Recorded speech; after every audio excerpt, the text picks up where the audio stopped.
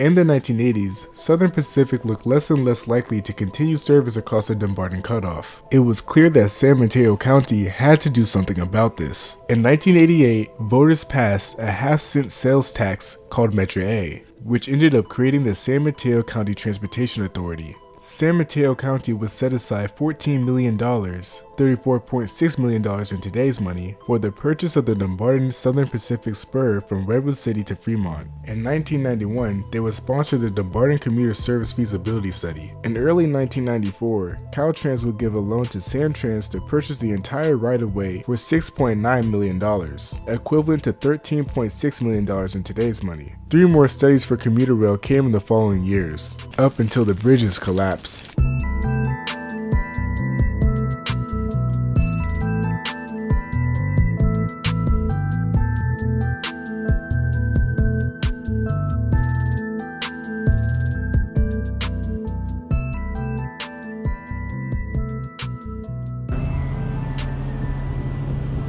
Please exit through the rear door.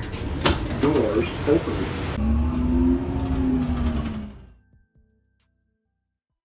In a great way to celebrate the new year, at 7 p.m. on January 3rd, 1998, the Menlo Park Fire Department responded to a report of a fire at the edge of Palo Alto, near an abandoned gun club. The fire was initially expected to be coming from the building due to the homeless people often seen in the area. But when firefighters arrived, they saw thick black smoke emanating not from the abandoned building, but from a spot much further towards the bay. Firefighters were surprised to see that nearly a third of a mile of the Dumbarton Bridge trestle was being devoured by flames. I'm talking about the supports down to the waterline and the rail deck itself. The fire was so bad that the Dumbarton Road Bridge next to it had to be shut down because of the smoke. Luckily for, well, no one, Wooden railroad ties are often treated with creosote. For those of you who aren't track maintenance employees or chimney cleaners, creosote is a highly flammable and toxic product. Creosote functions as a wood preservative that's derived from various types of tars. Long-term exposure to creosote for humans through inhaling could cause cancer. And with the Dumbarton Bridge burning, it is clear that the stakes were high. Firefighters rushed towards the bridge, but there was one problem. As you may have noticed,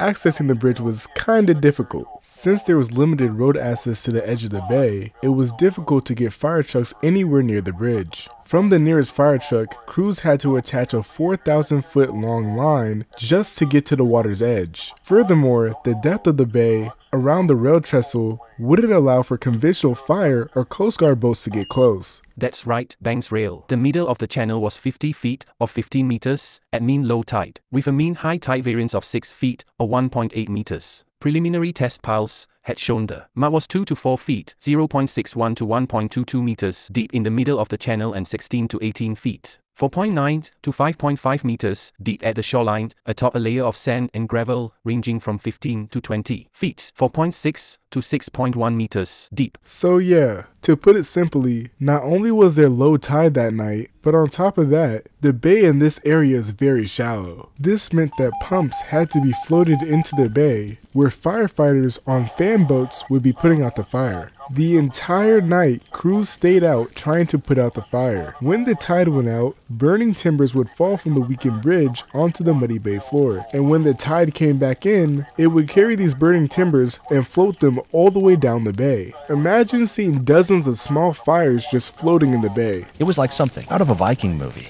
The morning after the fire started, crews loaded a fire truck onto a special rail car to get it closer to the bay. With this rail car rolled closer to the bridge, finally the fire was able to be put out, or so they thought. After continuing to receive multiple complaints about smoke, three days after the fire was put out, fire crews were sent out again for investigation of the bridge. Upon further investigation, crews discovered that the structure was still burning 20 to 30 feet underground. This meant that in order to extinguish the bridge, the pilings had to be dug up. It was probably one of the more frustrating events I've ever had to deal with. In the end, no active electrical equipment was found near the bridge, and there wasn't lightning present the night the fire started. Therefore, investigators believed that arson was the cause of the fire. Unfortunately, this was never proven, and investigators would label the fire suspicious. Since, well, all the evidence of foul play was burnt and floated all the way to Oakland. Yeah, you're not gonna find much. My first thought for the reason why the bridge burnt down was because of an insurance scam, but then I remembered that the struggling Southern Pacific already sold the bridge off to Samtrans, so that couldn't be it. Now, realistically, a pyromaniac probably burnt down the bridge, but what if it was an extremely, and I, I mean extremely,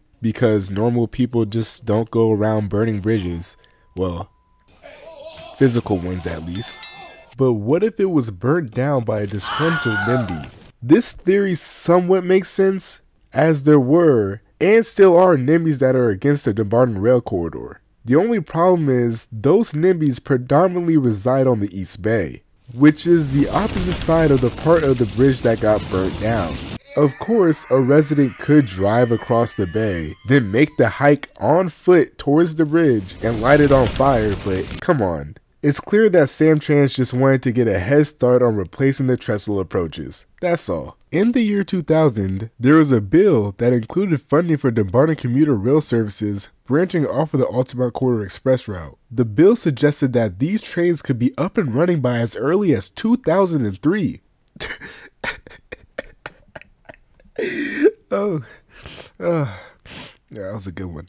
This bill ended up creating Caltrain's Baby Bullet service in 2004, but unfortunately, funding for the Dumbarton Rail Corridor was removed from the bill. Also in the year 2000, the Caltrain Joint Powers Board voted to become the sponsor and the operator of the Dumbarton Rail Corridor, something that they would soon regret. Over the coming decade, a few more feasibility studies would come out, each time a new feasibility study would come out, the project got more expensive. This is because each feasibility study would make the project more elaborate. By the time we got to the second feasibility study in 2003, the project called for two completely new bridges. On top of that, in 2009, the East Bay cities would divert some of the funding for the Dumbarton Rail Corridor to the BART Warm Springs extension. After Alameda County failed to pass a transportation sales tax in 2013, majority of the East Bay cities would just give up. This meant that funding for the Dumbarton Rail Corridor was dropped from future bills, leaving Caltrain to be one of the few agencies keeping the project alive. Well, actually, there was Facebook in 2015, but that, that that didn't really go anywhere. The reason why East Bay cities such as Fremont aren't supportive of the project anymore is because they don't want to be labeled as a pass-through city. You know, a city that gets passed through and people don't actually stop there and spend money which is kind of dumb, right? Because East Bay cities, especially Fremont, would become more of a transfer hub for passengers traveling all across the bay. And by the way, this is their legitimate reason, so I'm a little bit confused on where they got that from.